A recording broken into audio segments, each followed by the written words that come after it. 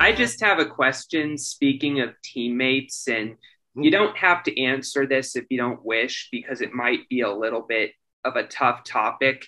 But do you remember the Mid Ohio race in 2015? Were you in that race at all? Sure. Uh, sure. From what I saw in the video, when Drissi and Ruman got into it, you were about to take the lead, but you ended up being bumped accidentally and taken out of the race. Uh, what was your reaction when that happened, if you had one? Yeah, you know, um, Tomy and um, Amy, you know, th- they've never been opposed to kind of bumping and and moving somebody out of the way. That's really not quite my driving style. So when they were when they were going at it, I was loving it because they both had better motors um, than I did for for that particular season. And when I saw them really coming together, as as I was passing them, I, I was thinking to myself, I've just won this race. Even though we had a long ways to go, there was there was no one behind me pushing me with with any kind of speed.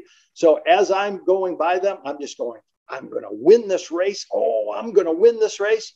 And then I don't remember who it was, but they just clipped the rear of my car and I went smack into the wall. Um, I was a little disappointed with that part of it.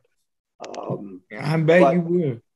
Yeah, but you know, racing is a is a kind of a a game of intimidation, and they were they were trying to kind of intimidate each other, and and I wanted to take full advantage of of them screwing around. I, I wanted to win the race. I, every time I get in my car, I want to win the race. Every time.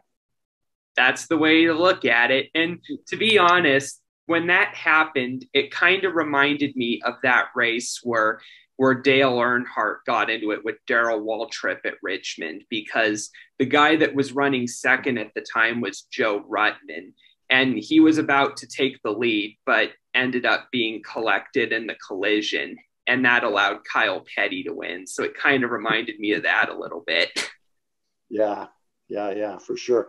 And you know, I remember that race like it like it was yesterday. I mean, I uh, that was a that was a brand new car for me, and um, or you know, I think it was a new car, but it was it was the same motor that I had been using.